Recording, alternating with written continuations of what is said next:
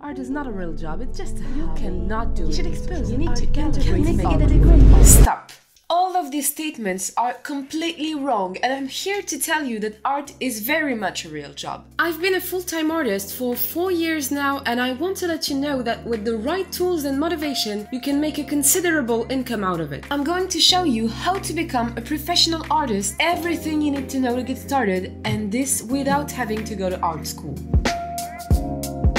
Step 1. Use YouTube as a teacher. That's how I learned everything. You have a question about how to draw something or how to create a glow effect, for example? Ask YouTube. You will probably find a ton of content answering your question. Anything you need to know about art theory is out there on the internet. You will also find very interesting content about art on TikTok. There's a lot of really good content creators that have something to teach you. Something very interesting that really helped me improve my skills is color theory. Document yourself about that and your art will improve in a way you never saw coming. Step 2. Practice. You're probably fed up of hearing this, but it's a really good advice when given correctly. Practice in a good way. If you just practice bad drawing for months, you're not gonna get any results. Because you're not going to art school, you don't have a teacher to tell you when something is good or not, so you have to be that person. If you make something bad, you should ask yourself why.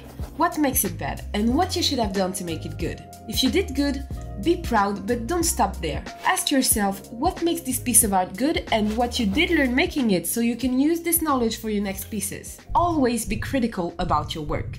Now that you've learned the basics of art and have even started creating your own pieces, it's time to make your art visible to the world and make actual money out of it. Step 1. Don't waste your time with art galleries, especially if you didn't go to art school and even more if you make figurative art like I do. Galleries don't want you to get money, they want them to. If what you do doesn't resemble to what they usually expose, there's a lot of chances you will be left out. Even more if you make art for the sake of aesthetics, galleries will tell you to give a meaning to what you do, so you will have to make something up just to please them. Please save yourself from all of that, it's exhausting. Even if your art does look like what galleries want, the art world is very selective, so you must have contacts to hope integrate this environment. With the internet, success is accessible to literally everyone. Step 2 Be everywhere. Be on every social media, but especially on YouTube, because this platform wants you to get views, so you can easily do it. It really is doable. This is for me the best advice on how to get money as an artist because you can reach the largest amount of people as possible. And the more people seeing your art, the more people you will convert to clients. Now you have a YouTube channel and you want to maximize your chances of success, right?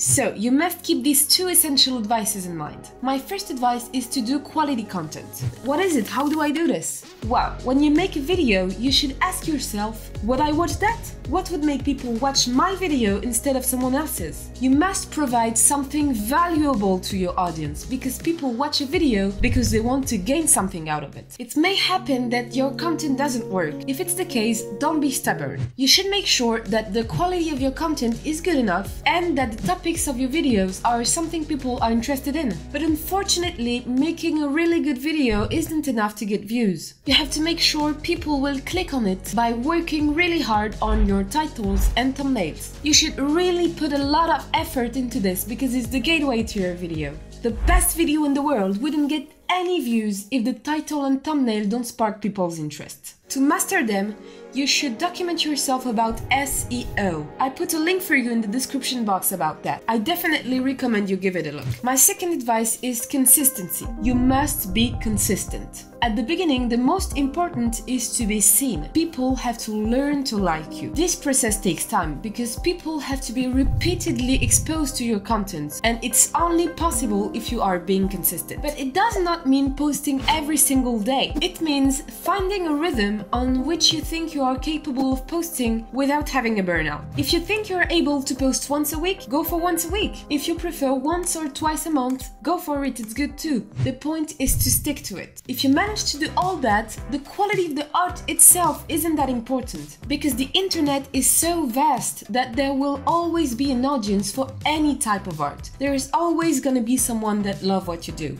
The point is to get to them, and the internet is the only viable way to get to them. By the way, if you find this video helpful, don't forget to subscribe so I can make more helpful content like this for artists. Step 3 Start making money. There's literally a ton of incomes you can get as an artist. Selling your art is the first one. Create an Etsy shop. It's one of the best selling platforms for beginner artists because it's free to use and the cut they take on each transaction is relatively low. They will also get you clients that don't know you in addition to your social media communities. And if you have a community on social media and an Etsy shop, your art will sell by itself. Another income you can get as an artist is by selling prints of your art. And if you use a print on demand platform that makes it for you, you will experience the joy of passive incomes. It goes like this The client order your print, the print on demand company print it for you, send it to the clients, and you, you just get the money.